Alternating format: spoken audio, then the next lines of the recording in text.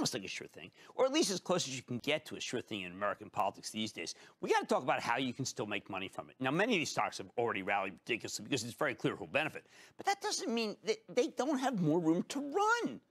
We're talking about nearly a trillion dollars of spending on roads, on bridges, rails, the electric grid, broadband, mass transit, ports, among many other upgrades. Honestly, we should have done this years ago. We know that. But how about this? Better late than never.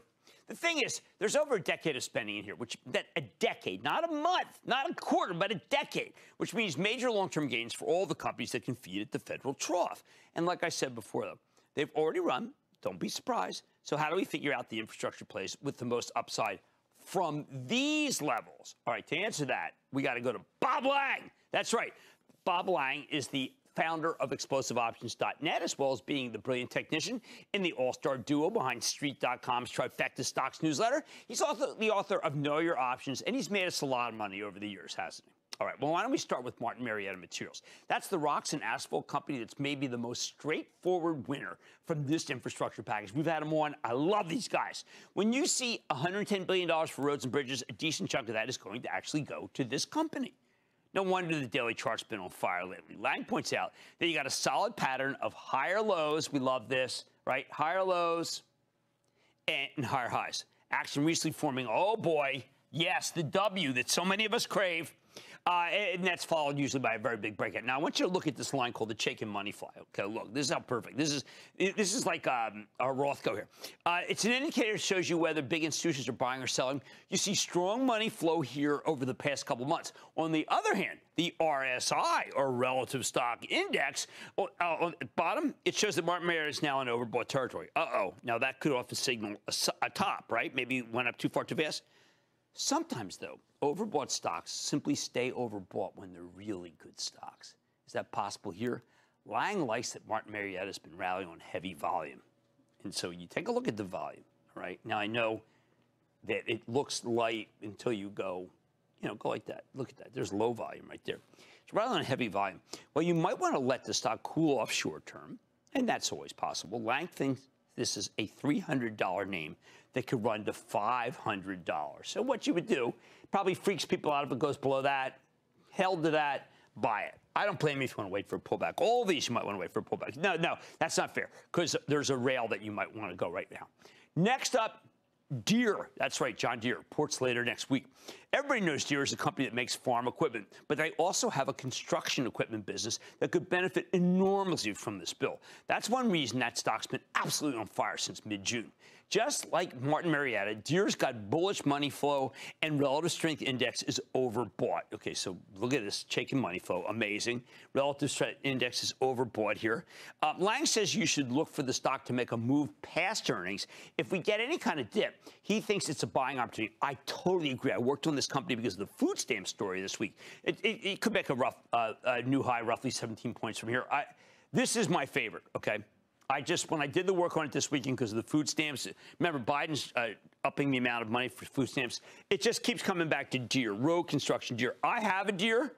Yeah, can you believe it? I can actually operate it. I mean, what a simple machine. All right, now how about Union Pacific, the big West Coast Railroad, which I cannot operate? These guys benefit from the $66 billion in rail investments and the 17 billion for upgrading our ports. Now, we got an enormous backlog on the West Coast. Now, anything that makes it easier to import goods means more cargo for Union Pacific. If you've ever been out there, you know it is just a staging ground for Union Pacific. Lang points out that the stock's been trading in a box since March. Here's the box. Okay? Now, uh, that's really fantastic. Why? Because when it breaks out, it is just going to break out big time. Meanwhile, volume trends have been bullish. We like to see the volume pick up, okay? Uh, that means the stock rallies, tends to rally on high volume. Remember, the volume is like a polygraph. It lets you know whether or not a move is telling the truth. There have been a lot of lying moves of late. Then there's the moving average convergence divergence. We always call that the MACD. That's an important momentum indicator that helps chartists detect changes in a stock's trajectory before they happen. You, know, you, don't need coincidence, right? You need before. In Union Pacific's case, the MACD recently gave you a buy signal, right here. Uh, probably hard to see. Maybe you have to check my word for it. That's where the black line crosses above the red line. Maybe?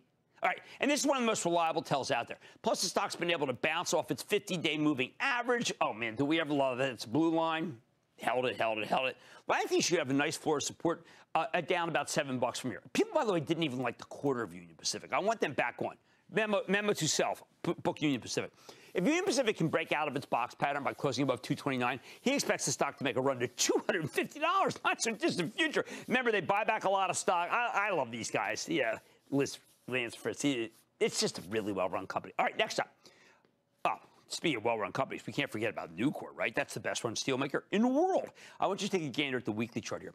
Obviously, when you spend a trillion dollars upgrading the entire country's infrastructure, well, what happens? It requires a lot of steel. That's insane. It's like a tech stock. There's a lot of steel. Hence, uh, why the stock's been white hot lately. Lang thinks this is a situation where terrific rally on strong volume is pulling in more and more buyers, even as the stock's already up 133% year to date. Now, this is currently $124 stock, but Lang can see it going to 150 and then maybe 175. Wow. I think he's right. Fabulous moment for Nucor.